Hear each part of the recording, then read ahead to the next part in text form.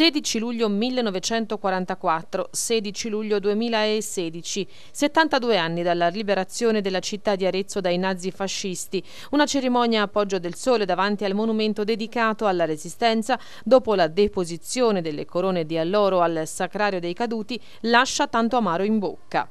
Tranne le autorità e i rappresentanti delle associazioni partigiane, nessun aretino, soprattutto giovani e bambini, ad ascoltare perché sia giusto ogni anno ricordare quanto accaduto 72 anni fa. Nessuno, insomma, che possa portare nel tempo la memoria degli uomini e delle donne che hanno pagato con la propria vita la nostra libertà e la nostra democrazia.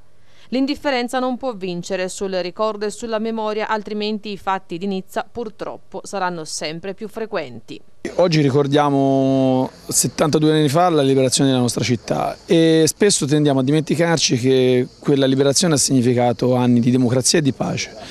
E purtroppo oggi anche se si fanno tanti errori nella costruzione di un'Europa che spesso ci appare lontana e forse anche realmente, dobbiamo però comprendere tutti che il periodo è molto difficile e che eh, nella, nelle divisioni rischiamo davvero un periodo difficile dove eh, la guerra si gioca con strumenti differenti ma dove non è detto che possano accadere fatti eh, drammatici nei prossimi mesi. Non dobbiamo preoccuparci, dobbiamo vivere la nostra quotidianità con tranquillità, non dobbiamo farci spaventare ma dobbiamo anche comprendere che forse è il momento in cui ehm, l'Europa deve riscoprire il senso di appartenenza per essere più forte contro le difficoltà che ha al proprio interno che purtroppo dopo ieri sera abbiamo visto sono anche all'esterno di essa.